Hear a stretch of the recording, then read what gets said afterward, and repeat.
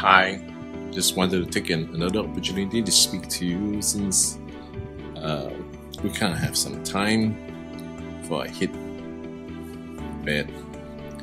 Um, I've been telling a lot of people that uh, scriptures predominantly, especially when it comes to the uh, Old Testament prophets, uh, a lot of them are actually based on poetry and apocalyptic language. In other words, language which are flowery, poetic, as well as um, the fact that uh, they use pictures to describe something. Uh, and uh, if you actually read uh, Isaiah 14, uh, you will read about how uh, there is this cherub by the name of Lucifer and that uh, what happened was that he uh, was uh, anointed of all of all glory, and then it, it says that he fell. And what happens is that uh, many people would then deem Lucifer as Satan. Uh, as I've done in other videos, I've actually mentioned the fact that uh, when you read chapter 4, or rather chapter 14, uh, you will find that verse actually in hi Pastor Derek uh, in verse 12 uh, you will read about Lucifer you will read about the morning star you will read about how this supposedly angel fell. Um, but the problem with many people is that when they read something like this they don't read the whole chapter they don't read the whole picture of the, the whole passage. And when you read chapter 4, uh, verse 4 of the same chapter in Isaiah 14, you realize that the whole thing there, the whole of chapter 14 is a taunt against the king of Babylon, was a, a taunt against the king of Babylon. And the Lucifers, therefore, uh, which Isaiah was speaking about, was actually the king of Babylon. And it speaks about how the king of Babylon, who is Nebuchadnezzar, he went mad and then he behaved like an animal. So the whole chapter there is about the poetic narration of Daniel chapter 4 of how King Nebuchadnezzar, because of his pride, because of his arrogance, uh, he fell. And as because he he fell uh, and into madness, uh, he behaved like an animal. He had uh, Daniel 4 talks about how he ate grass and he had skins of scales and and that you know he had nails that became claws. Isaiah 14 was all about that. It is not about the fall of an angel.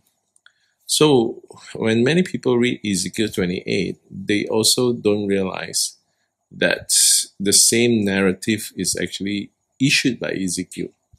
Ezekiel spoke about the king of Tyre, and uh, what happens is that uh, he spoke about the king of Sidon. Uh, these are the two enemies of Israel during Isaiah's days as well. So Isaiah speaks about them in Isaiah 24. See? But when you speak to someone uh, about Ezekiel 28, they will come and tell you this is the place where Satan fell.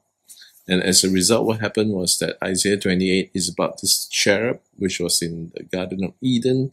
He was walking on the uh, uh, mountains of the Lord and all that, and he was filled with all sorts of jewelry and he fell. Now, let me ask you one very interesting question. What was the greatest thing that God created in Eden? What was the greatest thing that God created in Eden? The answer is simple Adam. So, in other words, when Ezekiel was talking about this cherub who was so beautiful, anointed, and walked onto the mountain of the Lord, everything there is about Adam. In other words, when Ezekiel was speaking about the king of Tyre, he is actually saying the king of Tyre is given everything, just like Adam. The king of Tyre is beautiful, is powerful, like the first Adam. It has nothing to do with the fact that he is a spiritual being called Satan. Because Isaiah 24 or 23 or 24 describes about how rebellious this king is and eventually how he actually fell. This is the way the ancient Jews speak and communicate to the people. Because you know why?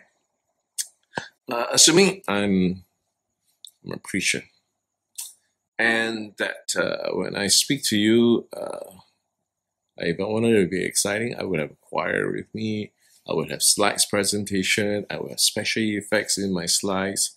And when I speak to you, I would uh, I would speak to you through a huge microphone. I'll probably have a beautiful hall uh, with special effects if I wanted to emphasize on certain things. But the problem with the prophets of the old is that they don't have such things. So, in order to capture you, in order to continue speaking to you, in order to uh, capture your attention, in order to make things interesting, this is the kind of language they use. This is called apocalyptic language. In other words, language uh, which basically carries special effects.